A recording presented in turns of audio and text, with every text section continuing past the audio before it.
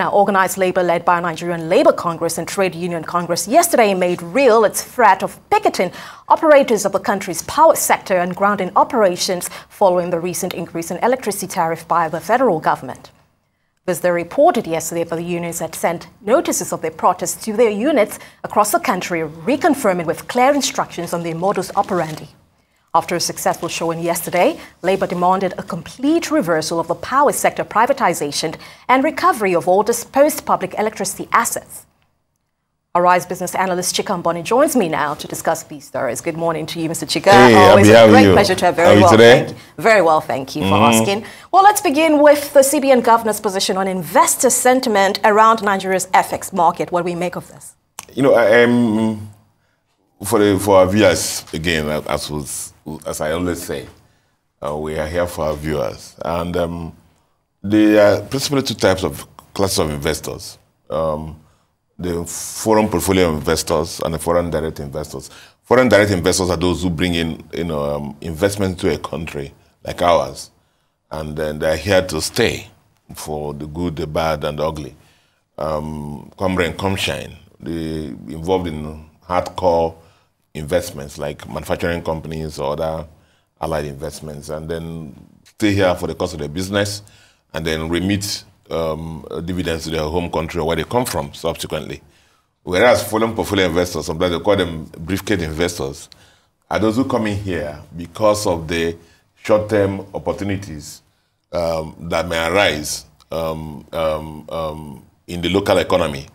Um, for example, in in the, the maybe in the UK or or United or US, maybe the interest rate for let me the US, maybe interest rate in dollar they're getting on their fixed deposits there or putting money in the banking system there maybe about three percent. So they come over here and find out the interest rate here is about twenty five percent. So instead of staying there in the US and getting three percent, they can actually bring their money into Nigeria, change it into naira. Of course, we get the dollars, and then invest in the twenty-five percent interest rate, earn it, and then after the expiration of the investment, they will take it back, move the naira back into dollar, and then take it back to the home country. So, what has been a limiting factor since? Limiting, limiting factor has been the fact that one, that when they, are, they bring the dollars into Nigeria, change to naira, at the expiration of their short-term uh, investment in Nigeria, you know, remember they're holding naira. Now they want to move it back to dollars, and that has been the problem. So with the stability that's coming back to the FX market now, as the CBN has, uh, governor has said, alluded they have more confidence in the economy to bring in their investments into Nigeria, buy treasury bills, invest in Nigerian stock market or Nigerian bonds, as the case may be, and then we get the dollars that they bring. It will increase our reserves and provide liquidity to our foreign exchange market and provide the stability re- required for Nigeria Naira dollar exchange rate. That's basically what is doing. And it's akin aligned, aligned to the CBN role. CBN principal role is to provide, you know, money, you know, uh, fiscal uh, money stability, uh, financial stability in the in the in the in the economy, uh, exchange rate, interest rate, which again will have some salutary impact on inflation, and that has it been the work of the CB, current CBN governor since he came into into play. So that's basically this is what he's trying to explain that um, uh, and that this, his policies has led to the attraction of foreign portfolio investors into the economy. And how has he achieved it? Before he came into the into the, into the system, interest rates in Nigeria were very literally reasonably very low, lower double digits, 10, 12 percent. But he moved most of those rates up now to the early 20s. Very attractive for foreign portfolio investors. And with the certainty, near certainty in the FX market, they bring in here and local naira interest rates at 25 percent. When at the majority of investments, they can take it back, and that's basically what he's saying. And that has flushed some money into the Nigerian FX market. So a clearer understanding of the framework and the dynamics at play here Mm-hmm. gives, you know, leads to that comfortability. But I want to juxtapose its position against, let's say, Fitch Ratings, which just very recently expressed reservations over the CBN's regulatory direction, of course, suggesting that, you know, these recent measures may impede, you know, economic trajectory. Are there any merits to this position?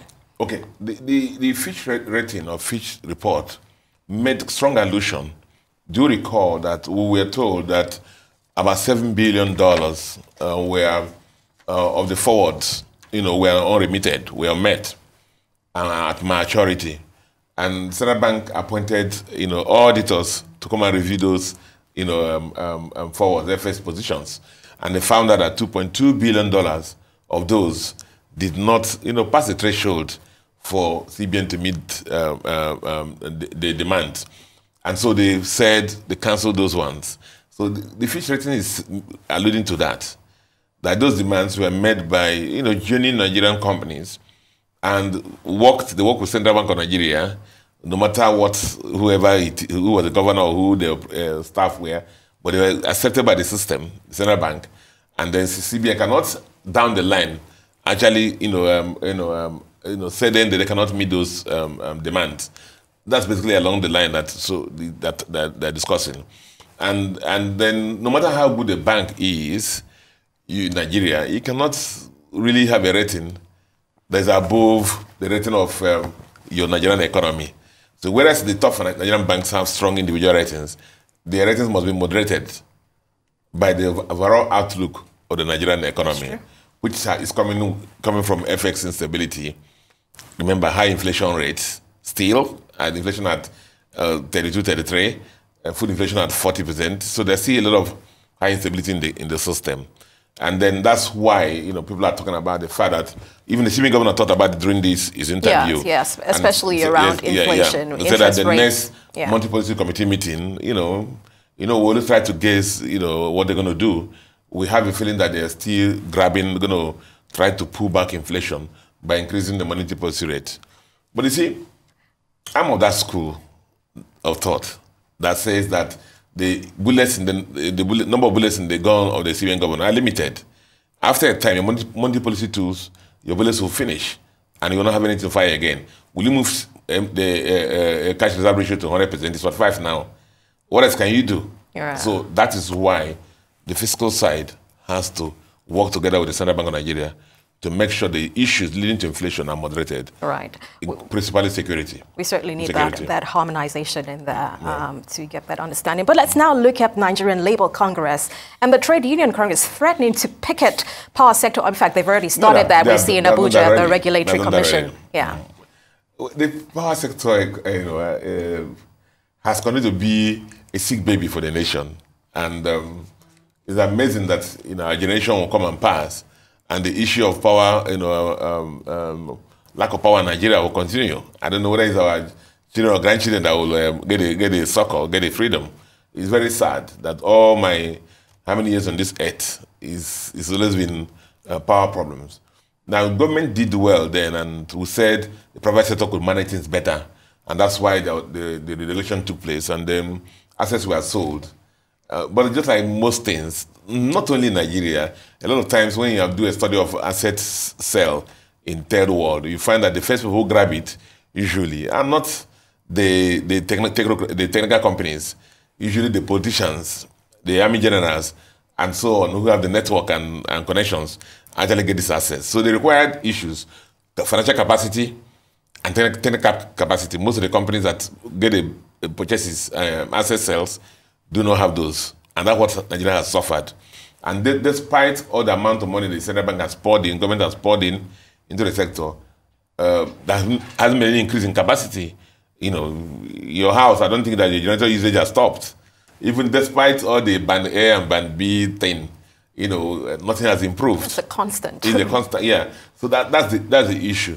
But I mean, you know, listening to Labour people is always very interesting. And the solution always like, you know, it's either left or right. You know, uh, we should unwind the the power cells and then go back to the beginning where you know government is managing everything. I don't think that's the solution. I believe that um, just the government has been brave enough to remove fuel subsidy. They have to do serious things, you know, and you know work with the power those who are body assets and, and really riot, riot out to them and make sure they do the right things and right investments because government is still a shareholder in most of these companies. You know, that's for me, that's what it is.